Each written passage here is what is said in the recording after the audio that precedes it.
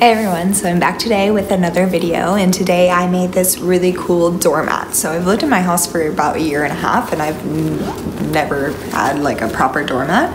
Um, so this is one of those hello, goodbye doormats. So when you um, show up, you see the hello and then when you leave, you see the goodbye. Um, so I've seen these kind of doormats um, before and I always thought they were really cute. Um, I got uh, just the base mat from Ikea for super cheap and then I made the stencils um, using my Cricut Maker. Um, so if you're interested in making a doormat like this, then keep on watching.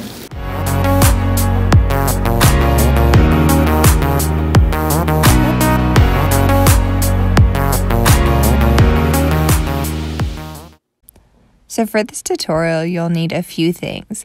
First of all, you'll need the IKEA doormat, and so I'll link the exact type in the blog post because I don't remember exactly what it's called. You'll, of course, you need your Cricut um, machine. So I used a standard grip mat for that and then some vinyl that I bought off Amazon. So I can also link some of that information as well. Some blue paint, a little sponge just to apply the paint, and then, of course, transfer paper to use your vinyl. So now I have Cricut Design Space pulled up. Um, what we need this for is just so we can type out the words, whatever you want on your doormat, um, and uh, you'll be able to cut it out of vinyl to create the stencil so you can paint it onto your doormat. So the first thing that we're going to do is uh, use the text tool here. And so I'm going to have hello and goodbye. So I'm going to make those two words.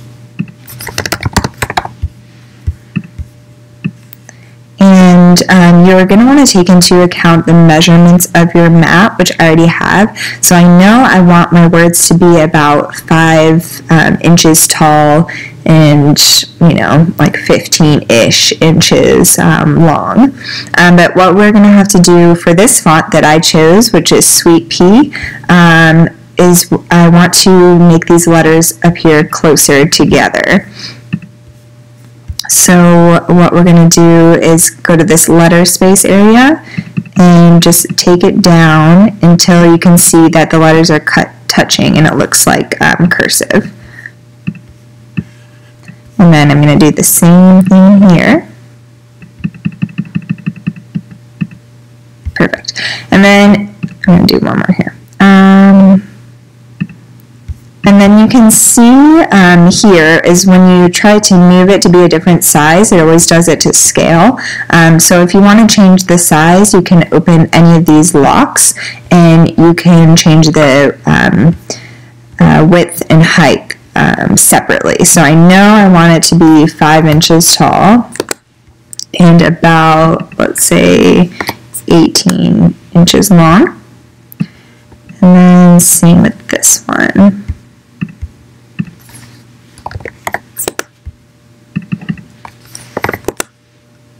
and to play with it a bit because um, goodbye, the letters go uh, below and above the center line, whereas hello, the letters are only above the center line. So um, this word actually looks a lot bigger. So I'm going to have to do some resizing um, just to make sure that the two words look kind of proportional to each other.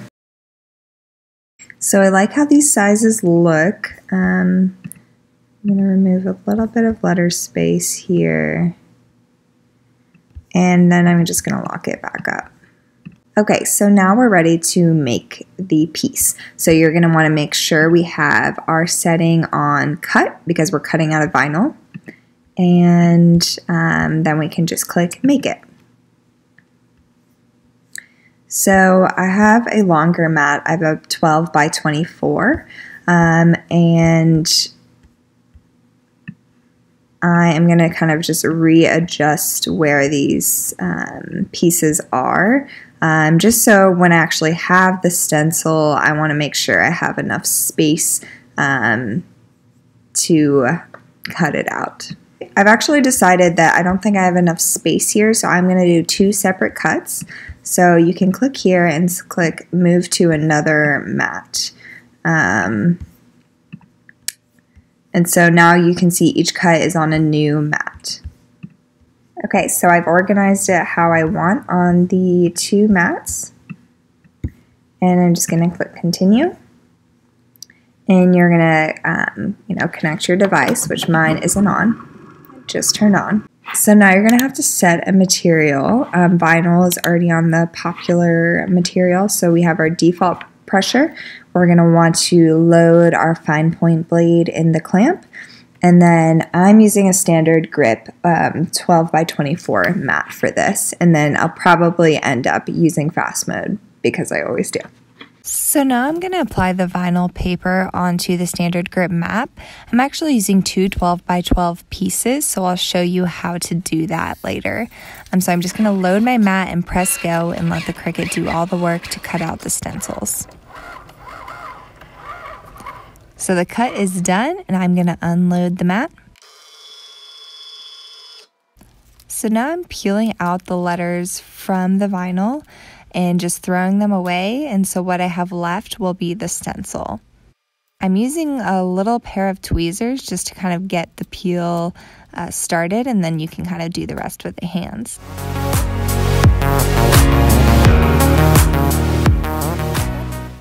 And now I'm cutting the stencils just down to a smaller size, so I have to use less transfer paper and taping the two halves of the stencil together. Now I'm applying the transfer paper over the top of the stencil, um, making sure all the little bubbles are out, um, really pressing those out and making sure the transfer paper is firmly applied.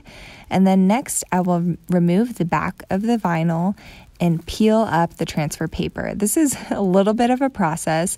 You're going to want to try to uh, peel back the transfer paper almost at a completely 180 degrees and just go slowly. The vinyl, I have super sticky vinyl and it hardly sticks to the mat, but it's going to work perfectly fine. So, kind of just slowly work through and reorganize your vinyl stencil and then get your black paint and a little sponge and just dab straight up and down. Don't go side to side at all because you'll kind of get into underneath your vinyl. But if you go straight up and down slowly, um, it'll work perfectly well. You'll have clean vi- uh, clean lines, even though your vinyl isn't sticking perfectly. So just peel it up, and this is the amazing clean lines that I have.